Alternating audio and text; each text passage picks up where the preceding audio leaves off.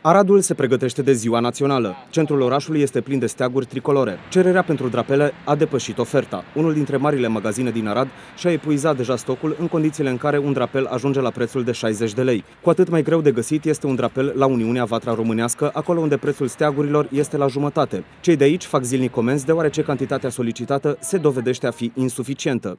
Anul trecut a fost în criză înainte de 1 decembrie și am dat telefon la furnizor i s-a terminat materialul și lumea a rămas fără drapele.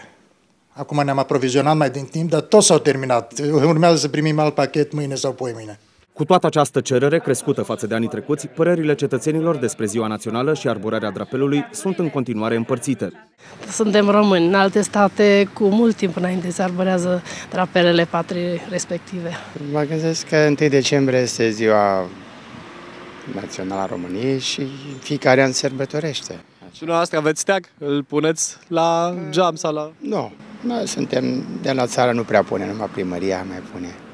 Un obicei clasic pentru români, ce să zic. Nu are nicio noi, mă, păr. e doar clasic, așa, e... Nu mi se pare o idee foarte bună.